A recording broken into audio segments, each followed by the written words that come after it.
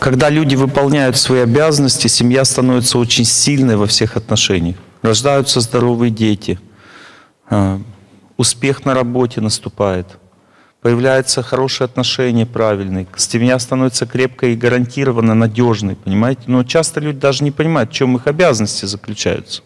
Понимаете? Я поэтому хочу сейчас это объяснить подробно. Первое, что нужно понять, что женщина — это энергия семьи. И если эта энергия не вдохновляющая, значит семья идет под откос. Вот, допустим, как в этом фильме «Любовь и голуби» там. У других мужики бедон, это лебедушки, а у меня бедоносец. И поэтому и у, и у женщины, и у ее дочери мужья алкоголики, понимаете? Потому что если женщина все время, ну как бы, она ну, не верит своему мужу, всегда сомневается в нем, всегда не доверяет ему, не вдохновляет его, всегда порицает его, критикует, тогда он, соответственно, и теряет себя. Есть исследования такие, что женщина, которая не уважает своего мужа, его не уважают на работе точно так же. Ну, то есть, понимаете, она как печать на лице мужчины. То есть она вот его печатью является. Какую печать она ему делает, такой он человек – вот если она, допустим, его вдохновляет, он вдохновленный становится, он начинает побеждать судьбу, развиваться на работе. Если она уважает его, его уважают на работе. Поэтому за каждым великим мужчиной стоит великая женщина, понимаете? Иначе не будет силы у мужчины, чтобы быть великим. Ну, то есть жена должна иметь эту силу, она отдает эту силу мужу.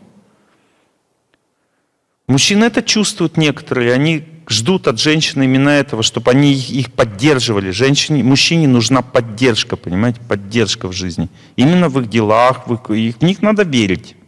Если женщина не верит мужу, он не будет деньги зарабатывать. Невозможно просто.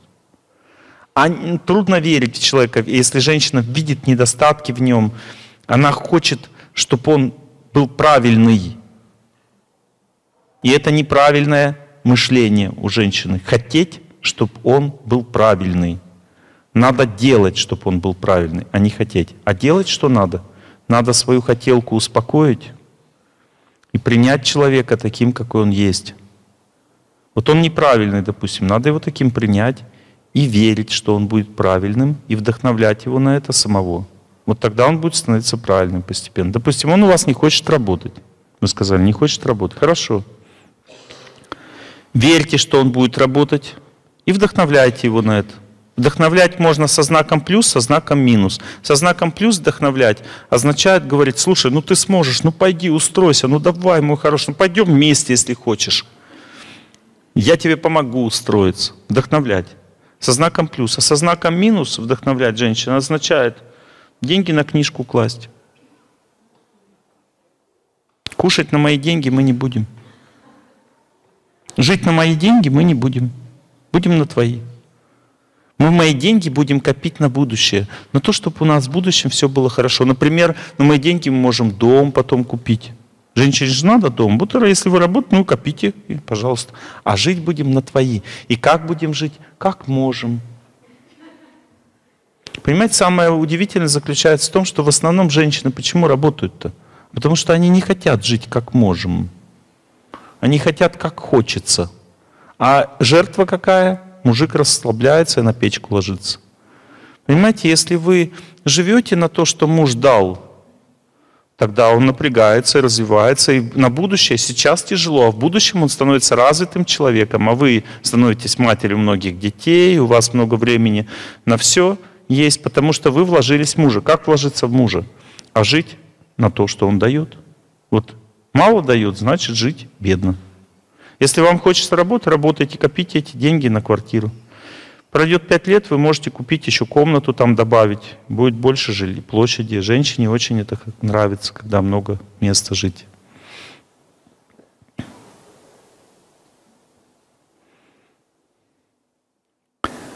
То есть мужчину надо вдохновлять на развитие, понимаете? А мужчина должен такую простую вещь понять, что если ты жене не дашь возможность быть счастливым, счастливой, означает, что ты сам тоже счастливым никогда не будешь, потому что она тебя замучает. Женщина не может жить несчастной. Она всегда будет мучить своего мужа, однозначно.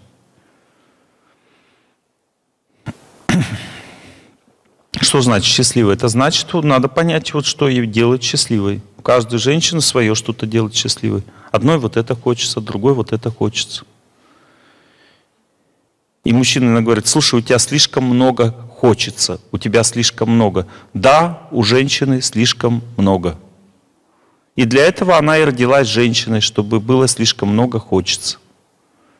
А вот когда ты в следующей жизни родишься женщиной, то ты тоже будешь, у тебя тоже будет слишком много хочется. А сейчас ты мужчина, поэтому ты должен побеждать судьбу, зарабатывать. И когда жена удовлетворена и счастлива, ты тоже будешь удовлетворен и счастлив. А в противном случае нет. Но это как бы я говорю сейчас и для мужчин, и для женщин инфо. Вот для женщин инфо. Иногда женщины удивляются, а что у меня такой муж неразвитый? Давайте послушаем песенку. Как женщина должна настраиваться, чтобы муж был развит. Видите, то есть оказывается не все так просто в этом мире. Ну то есть, когда есть вот эта сила женская, веры в мужчину, то он воскресает, он может победить судьбу, он может не ломаться, он может стать сильным. Но когда женщина свою силу мужчине показывает, тогда э, э, все происходит наоборот. То есть женщина, женская сила заключается в том, чтобы быть слабее мужчины. Это ее сила. Вот она показывает свою силу, когда она показывает перед ним свою слабость, тогда это сила. Но, понимаете, если говорить о мужчине и женщине, следует знать тайну. Тайна заключается в том, что женщина внутри сильнее мужчины, хоть она сама этого не знает.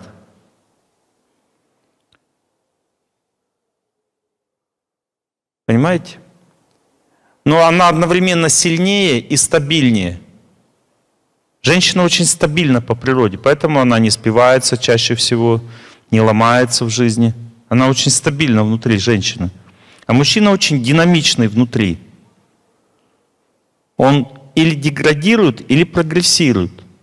Когда мужчина прогрессирует, то сразу все женщины его любят, всем ему нравится, потому что он становится красивым когда мужчина прогрессирует.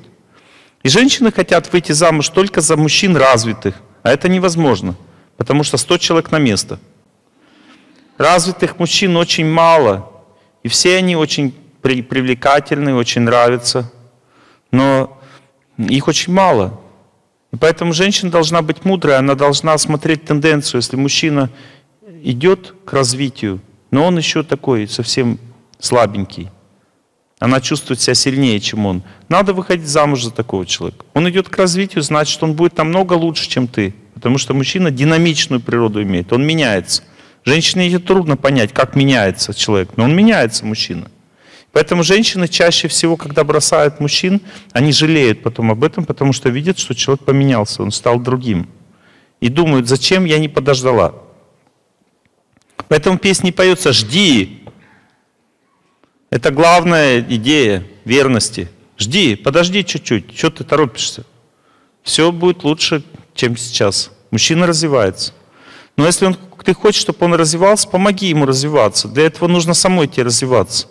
Понимаете, в развитии, в семейной жизни есть два ключевых этапа. На первом ключевом этапе всегда развивается только женщина, запомните. К Богу прогрессу, к всему самому чистому и светлому начинает идти только женщина. Мужчина всегда идет в сторону просто поддержания семьи, работы, то есть у него груб, психика более грубая, он развивается в социуме, пытается э, семью накормить, то есть он, у него туда как бы силы все идут. Ему трудно понять, что такое совесть, чистота, что такое знание, что такое вера, Бог – для мужчины это очень трудно в целом, в принципе, потому что его психика туда не направлена. И он просто выживает, он просто пытается семью сохранить чтобы она была, имела достаток и все прочее. Женщина удивляется, Олег Геннадьевич, я начала развиваться, у меня такой муж глупый вообще, как можно с таким жить? Он только упахивается, приходит, там футбол, хоккей, работа, а я такая возвышенная, у меня такие мысли светлые. Я хочу такого же светлого человека в жизни. Понимаете, первая стадия развития – это всегда женская стадия в семье. Сначала женщина начинает понимать, как правильно жить. Но она сильно страдает, потому что она не может сама поменять жизнь, у нее не хватает воли. Она думает, вот если бы муж у меня такой был, я бы так счастливо жила. И это правда. Но для того, чтобы это произошло, женщина должна свою стадию пройти. Первая фаза развития семьи – это женская фаза, чаще всего. Это означает, что женщина ей Бог дает первое знание. Бог дает ей первое почувствовать, как правильно жить. Она начинает все понимать, как жить. И она должна еще, понимая это, понимать, что она не должна думать, что мужчина у нее не развитый. Она должна понимать, что мужчине как бы ну, пойти правильным путем очень сложно, но когда он пойдет, он уже не свернет с него никогда. Женщине легко пойти правильным путем, но это не факт, что она на нем удержится. Поэтому нужно идти правильным путем, вдохновлять мужа. Чтобы его вдохновлять, нужно его всегда принимать таким, какой он есть. Три стадии есть изменения личности. Первая стадия – я принимаю человека. Не приняла такой, как есть, никогда не изменится. Вот если вы считаете, что у вас ребенок двоечник, он будет двоечником. Что значит принять человека? Это сказать, у меня мальчик не двоечник, но он вот имеет трудности в этом предмете. Это означает принятие человека. Точно так же мужчина. У меня мужчина не бездельник, но ему тяжело устроиться на работу. Ну, ну, не бездельник, ему тяжело устроиться на работу.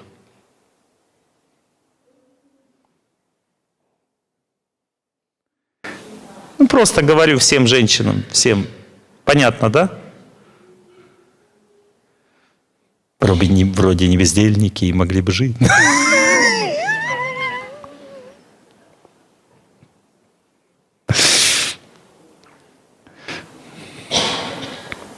Если женщина понимает, что мужчине в целом очень трудно свернуть себя, его психика очень тугая. Вот он или спит на печке, или воюет, понимаете, одно из двух. Вот женщина, она легко может раз, встала, пошла, пол помыла, раз, села, все. Мужчине пол помыть – это целая эпопея. Ну, то есть она говорит, помой пол. Он, это, понимаете, это надо всю жизнь поменять ему, чтобы пол помыть. Но если он поменял жизнь и начал мыть пол, он каждый день будет мыть пол всю жизнь. Ему будет нетрудно.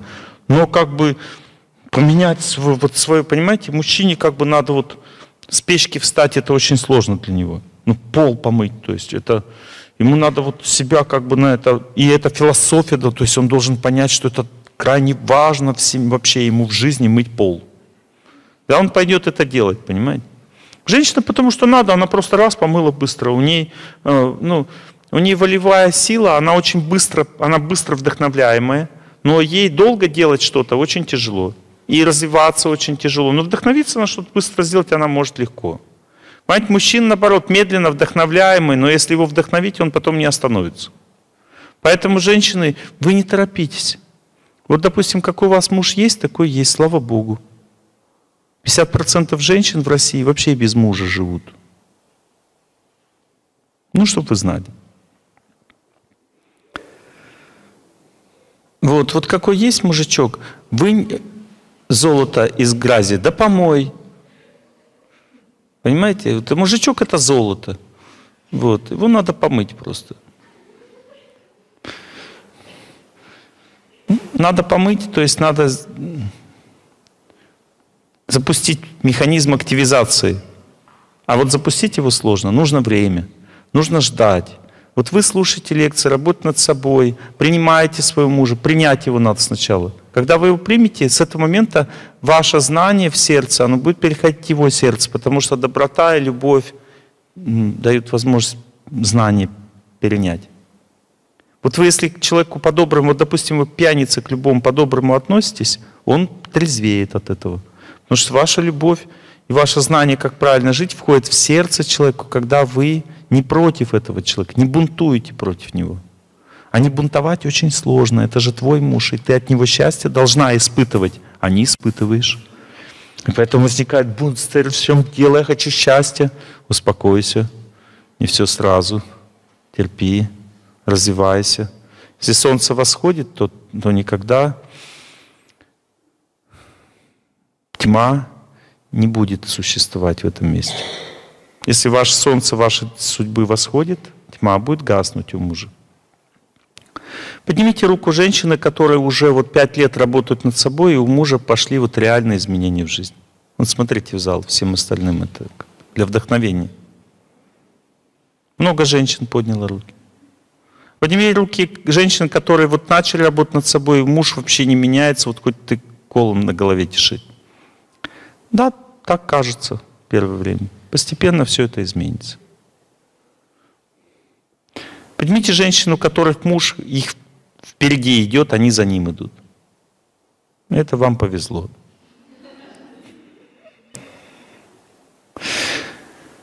Это значит, удача живет в вашей судьбе.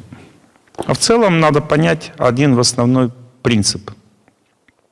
Женщине просто один принцип понять, и все. И мужчина сразу начнет развиваться сильнее меня и увереннее. Слышно было? Кому не слышно слова эти было? Будь, пожалуйста, послабее, будь, пожалуйста. Тогда я подарю тебе чудо запросто. Тогда вырасту, вымахну самым особенным. Из горячего дома тебя вынесу сонную. Я решусь на самое там, зловещее, на самое неиз, не, там, неизведанное.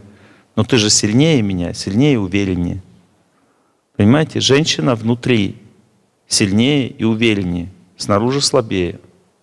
Близкие отношения означают отношения внутренней части жизни, а не наружной.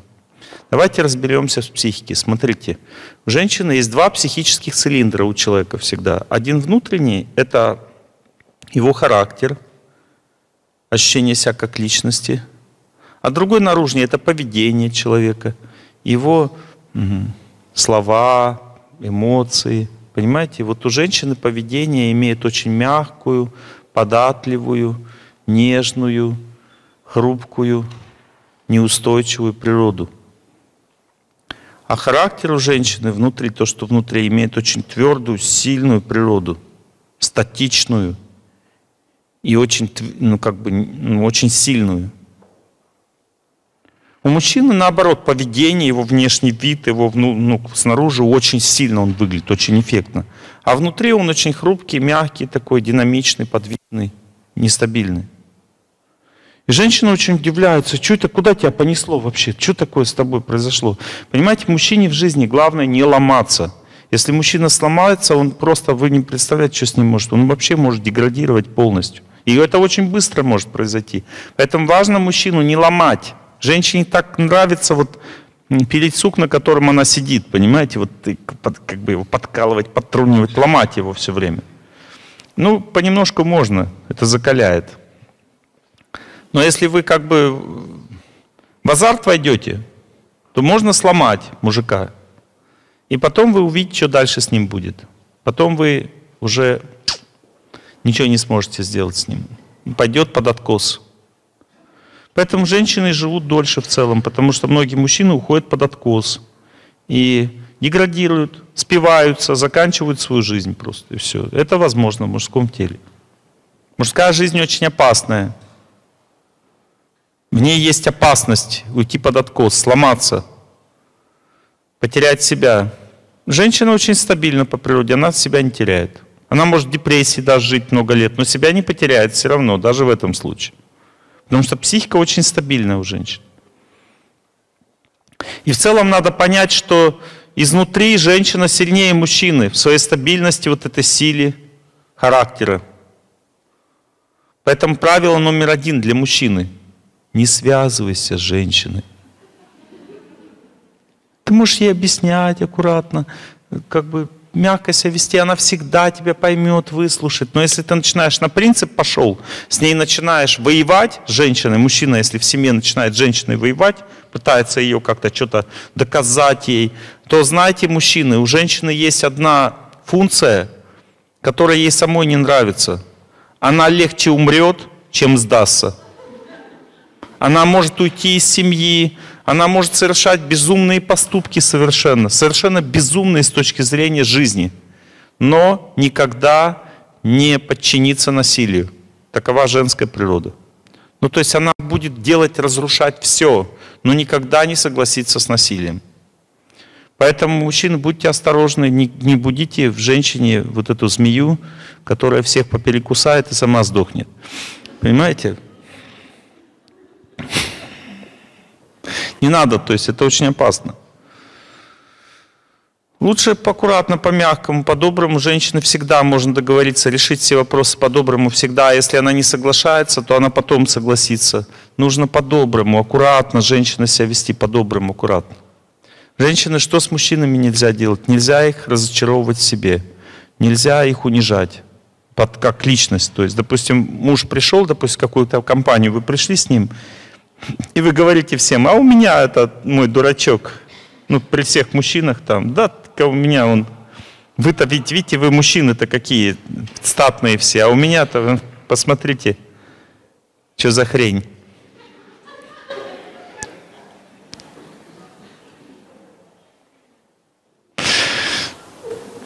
Все, это для него предательство. Вот мужчина это услышал один раз в жизни, он больше никогда эту женщину любить не будет. Он не сможет просто. Почему? Потому что это для него вот все равно, что ему наплевали прямо в саму суть его существования. Потому что суть существования мужчины – это желание победы. Понимаете, он хочет быть самым сильным, самым мощным, самым авторитетным, самым статным.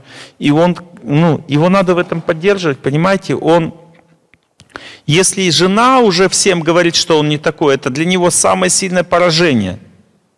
Жена не должна ни в коем случае раскрывать недостатки, слабости мужчины э, в обществе, на обществе. Но особенно среди тех людей, которых он ценит, уважает. Не дай Бог ей перед директором его, допустим, на работе так говорить. Это все для него разруха полная. Понимаете? Точно так же, допустим, мужчина может разрушить женщину. Он может, допустим, там ну, праздник какой-то, много друзей, подружек у жены. И он смотрит на подружек, говорит, слушай, они все красивее тебя. Ты какая-то у меня самая зачуханная из всех. Все. Она придет потом домой и скажет, ищи себе незачуханную. А я пошла. Так женщина или нет?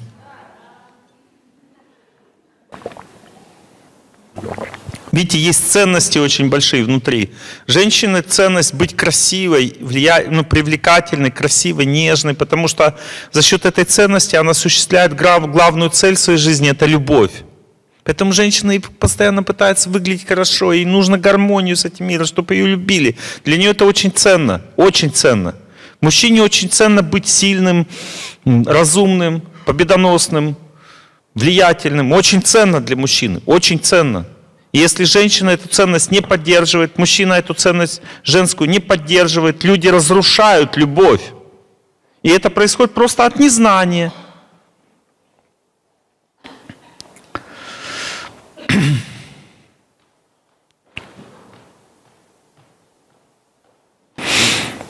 Есть обязанности, которые сильно помогают жить. Вот сильно помогают жить. Вот, допустим, очень важно знать, вот, допустим, женщине сам процесс еды не имеет для нее сильно большого значения. Она может вот просто там найти где-то покушать, перекусить. То есть ей главное, чтобы было вкусненько что-то в доме. И она не парится вообще. Понимаете, для мужчины, вот, понимаете, вот машину, допустим, заправлять, это ритуал. Надо шланг поставить и дождаться, когда весь бензобак заполнится. Иначе машина проедет 5 метров и, и сдохнет. Понимаете, вот эта машина, мужчина это машина, которая должна ехать далеко. И бензин должен быть качественным. Что значит качественно? Значит без примесей всяких, воды там и так далее. Иначе, ну, как бы, сломается двигатель. Понимаете, поэтому для мужчины очень важно, как его кормят. Очень важно, чтобы пища была наполнена любовью, чтобы ее было много, чтобы жена ему именно сама его ему давала покушать, готовила, понимаете, наполняла его этой силой. Вот для мужчины это ритуал принятия пищи, потому что от этого зависит дальнейшая его судьба сильно.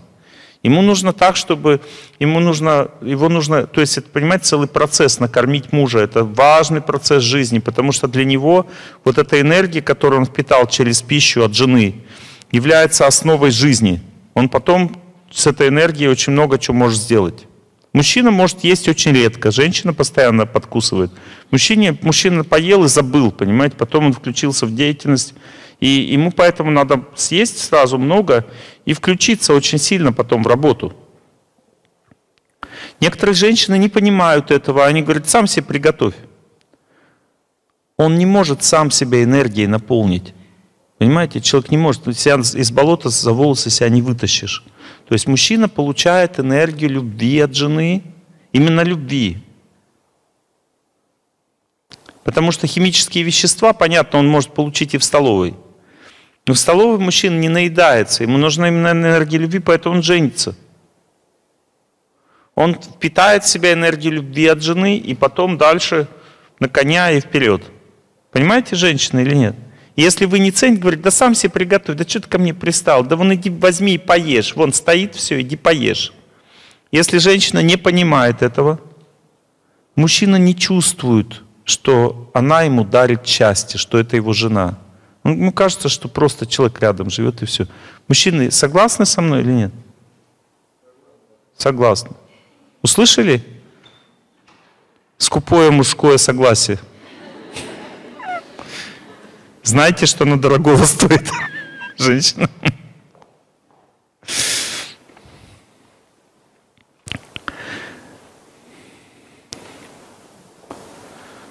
Очень важная обязанность женщины – это готовить мужу, кормить его. Очень важная обязанность.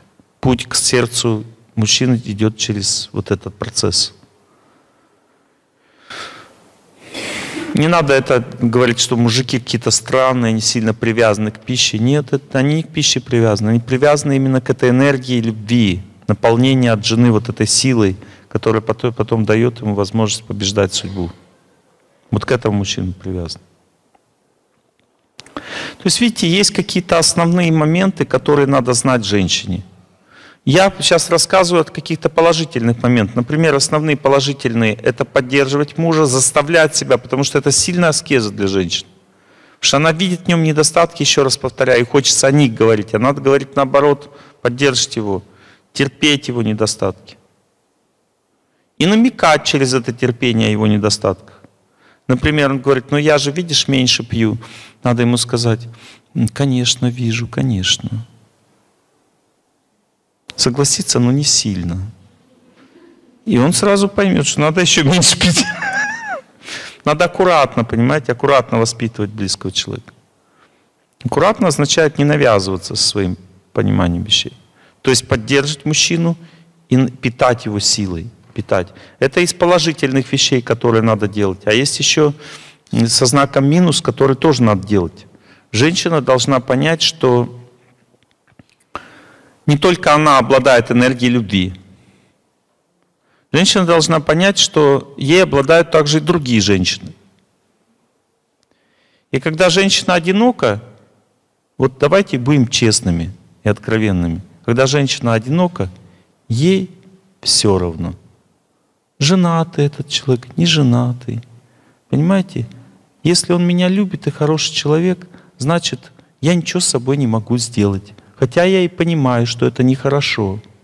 Но я ничего не могу сделать, потому что я одна, и мне хочется счастья. Этот человек меня не любит, это чьи проблемы? Его жены. Понимаете, да? Так думают женщины, так они мыслят. И поэтому жена должна оберегать своего мужа от чужих теток. Как сейчас объясню? Слушайте внимательно. Первое правило. Мужчина, когда он смотрит женщины в глаза, то он видит в них только верность или неверность. Верность или неверность – это очень глубокое чувство, и оно живет в мыслях. Например, если женщина думает, что я с ним живу, могла бы себе найти получше. Это называется неверность. И тогда у него сразу, вот у мужчины, когда женщина так думает рядом с ним, смотрит на него, у него сразу на, на лбу вырисовывается надпись Кабелина. То есть у него появляется вторая фамилия итальянская. В паспорте нет, но на лбу есть. И все женщины другие видят – Если мужчина смотрит на жену и видит там вот эта вот сила верности такая, верность, это сила, держащая мужчину рядом с собой. Вот она как бы, это мой человек. Мне не надо получше или похуже, это мой человек. То он точно так же себя воспринимает. Если он видит другую, там красивых девушек много, э, все ведь девушки красивеют вокруг, а вы теряете красоту, правильно? Или нет? Правильно, потому что и девушки же молодеют. Вокруг много молодых девушек становится. Чем моложе, тем красивее. Вы теряете красоту, и битва неравная, понимаете, за мужа. Битва неравная, потому что мужчина, в принципе, может взять себе замуж и на 20 лет младше, если уж на то пошло. Вот, битва неравная, а чем моложе девушка, тем красивее. Что делать? Надо быть верной очень. Когда женщина верна, ну не нет сомнения, что это ее человек, ей больше никого не надо, он не может бросить. И в тот момент, когда он нашел, ему понравилось кто-то, такое может быть, в принципе, по судьбе. Девушка какая-то понравилась, он влюбился, уже начал общаться с ней.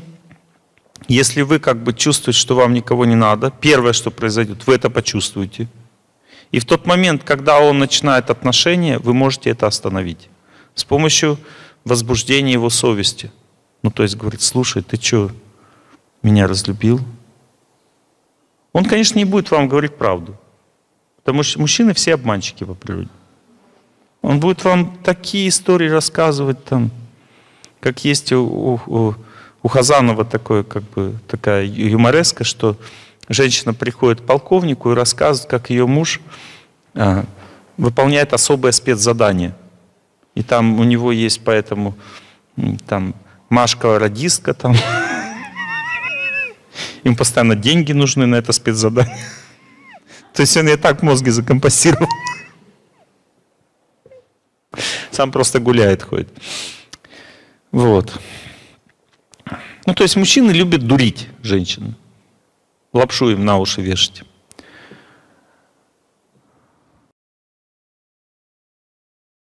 Я желаю всем счастья. Я желаю всем счастья.